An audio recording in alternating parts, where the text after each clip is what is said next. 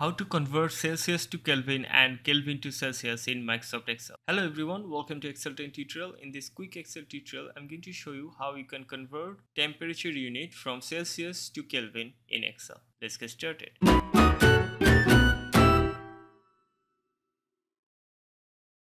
Take a look at this worksheet. We have our weather update here and we want to convert temperature from Celsius to Kelvin. We have temperature listed in Celsius in column B and we want to convert it to Kelvin in column G. For that we are going to use the convert function and I'm going to write it here, write equal to convert.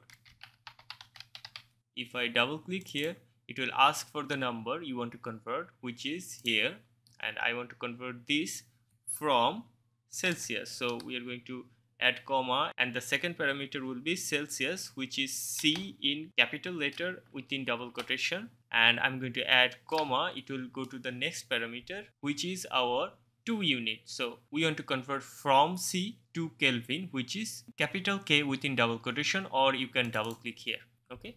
And now close parentheses and press enter. So this is our temperature in Celsius and this is our temperature in Kelvin. If I double click here it will autofill and we have just converted our temperature from Celsius to Kelvin. What if you want to reverse this? We have another dataset in sheet 2 where we have temperature in Kelvin that we want to convert to Celsius. So for that we are going to use the same feature or the same function which is equal to convert.